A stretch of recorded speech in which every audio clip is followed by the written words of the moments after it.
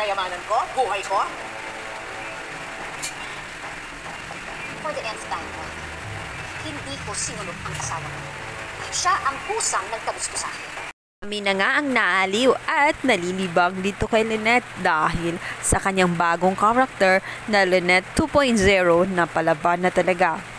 Doon nga sa alitan nila ni Moira, nung sumugod itong si Moira dahil hindi niya matanggap na lumipat sila Mr. and Mrs. Villarica sa A-Streets at pangalan pa ni Lynette ang nag-recommend. Ito ay sinabi ni Moira na ang galing-galing daw talaga ni Lynette mang-agaw. Unang-una, naagaw niya ang kanyang asawa na ngayon naman ang kanyang pasyente na matagal ng kanyang pinakaiingatan. Ito nga sinabi ni Myra na obsessed na obsessed daw itong si Lynette sa kanya dahil lahat na meron siya ay gustong-gusto daw na kunin. Ano ba daw ang kasunod buhay niya? Kayamanan niya ang Apex. Doon na may buong tapang na sumagot itong si Lynette na hindi niya kasalanan kung ang kanyang asawa ay nagkagusto sa kanya at hindi rin niya kasalanan kung ipinanganak siyang maganda at nagustuhan siya ng kanyang asawa.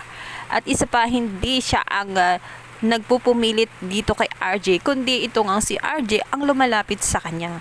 Dito naman sa kanyang pasyente ay hindi rin niya kasalanan kung bakit lumipat nga sa kanila dahil dahil yun sa kakulangan ng kagamitan ng Apex. Tulala na nga lang si Moira at napahiya sa kanyang mga narinig. Maya-maya ay dumating na nga ang mga guard.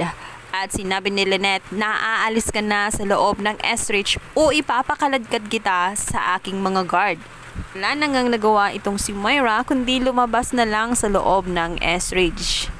Dito na may napapalakpak ang mga staff ni Lynette dahil sa sobrang husay at galing nito sumagot ala artista na bida. Pakiramdam nila ay nanonood na rin sila ng teleserye.